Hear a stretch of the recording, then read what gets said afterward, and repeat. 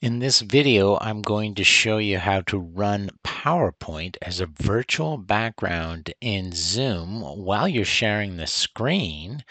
And your face will appear in the bottom corner and you will be presenting. So it's kind of an interesting way to provide a PowerPoint presentation.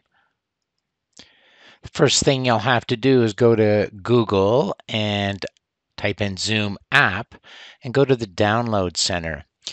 And you want to make sure that you download this version. You have to have the 5.2.0 version. Now, if you've already downloaded the app, you will open your Zoom app. You'll click on the top right hand corner, your picture, and then you'll check for updates. And then that should update your account.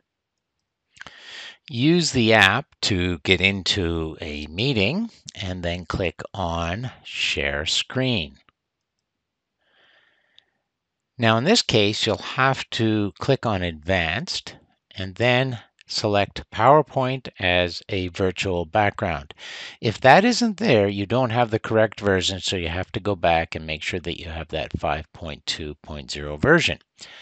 So then you're going to click on that and click Share and it's going to ask you the PowerPoint presentation that you want to share. I'll just select this one and open.